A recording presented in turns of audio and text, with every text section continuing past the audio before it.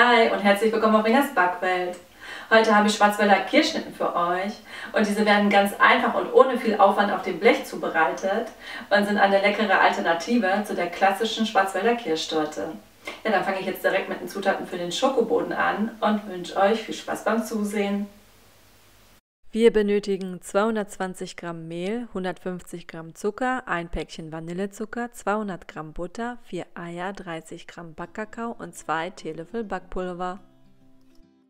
Die Butter verrühre ich zuerst mit dem Zucker sowie dem Vanillezucker.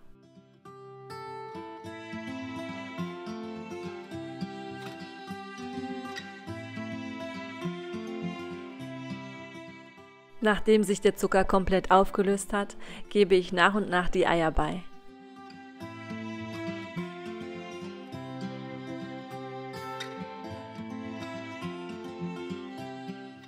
Sobald sich die Eier mit der Masse verbunden haben, können auch schon die trockenen Zutaten dabei gegeben werden. Dafür vermische ich zuerst das Mehl mit dem Backpulver und den Backkakao und rühre es langsam in die Masse.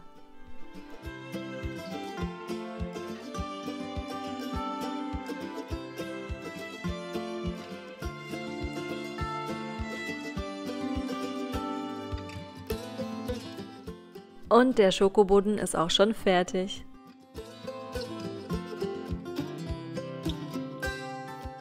Meinen Backrahmen habe ich auf ca. 30 x 25 cm gestellt und in ein mit Backpapier ausgelegtes Backblech positioniert. Durch den Backrahmen habe ich saubere Kanten und bekomme später die Schnitten besser aus dem Blech. Den Schokoteig verteile ich mit meiner kleinen Winkelpalette in alle Ecken und streiche die Oberfläche schön glatt.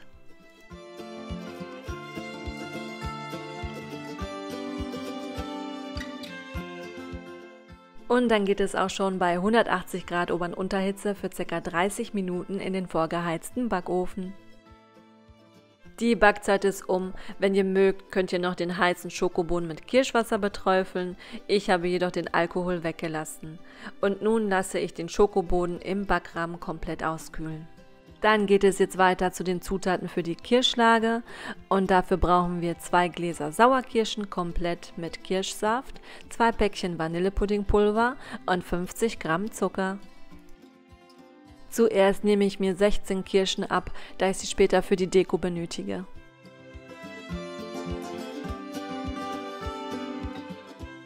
Dann nehme ich noch etwas Kirschwasser zum Anrühren des Puddings, fülle anschließend die Kirschen mit dem Kirschsaft in einen Topf und stelle es auf die Herdplatte, damit die Kirschen schon mal langsam aufkochen können. In der Zwischenzeit rühre ich das Puddingpulver mit dem Zucker und dem Kirschsaft an.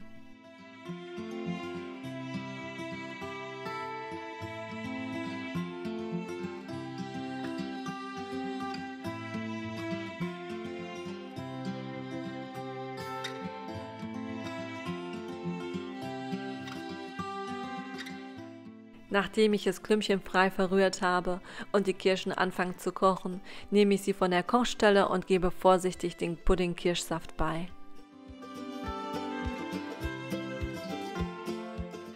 Unter ständigen Rühren lasse ich die Kirschen dann nochmal aufkochen und sobald sie angedickt sind, nehme ich sie von der Herdplatte, gebe sie noch heiß auf den Schokoboden und verstreiche sie in alle Ecken.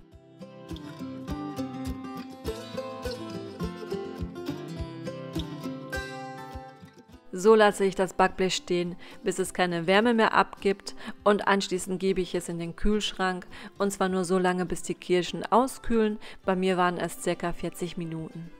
Nun kommen wir zu den Zutaten für den letzten Schritt und dafür benötigen wir 600 ml kalte Sahne, zwei Päckchen Sahnefest, ein Päckchen Vanillinzucker und 50 Gramm Schokoraspeln Zartbitter.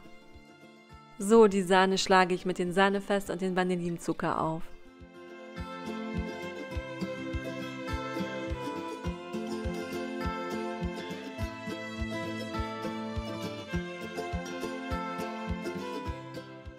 Nachdem die Sahne fest genug ist, nehme ich mir etwa 3 bis 4 Esslöffel davon ab und fülle sie in einen Spritzbeutel, da ich sie später noch benötige.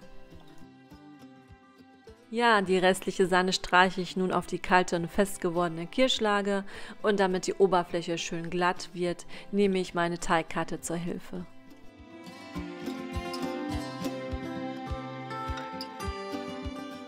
Die Kleckerei wische ich noch eben sauber und bestreue anschließend die Sahne mit den Schokoraspeln.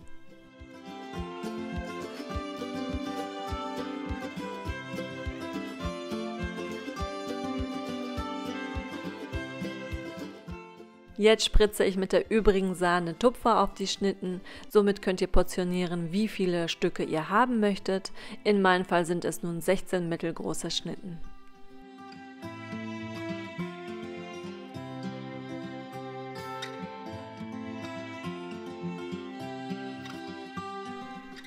Die Kirschen tupfe ich noch etwas mit Küchenrolle ab, damit sie nicht so viel Saft abgeben und lege sie anschließend auf die Sahnetupfer.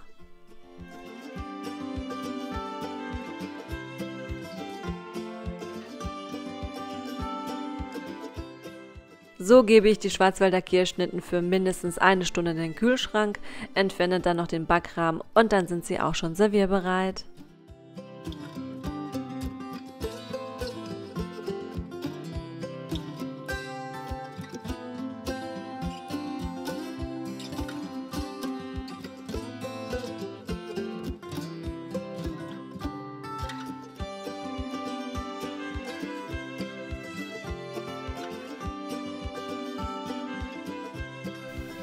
Probiert die Schnittchen auf jeden Fall mal aus, sie sind sehr lecker.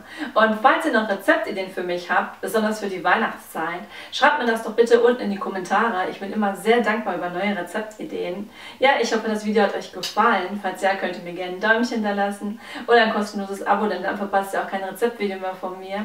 Und jetzt sage ich nur noch Tschüss, bis zum nächsten Mal.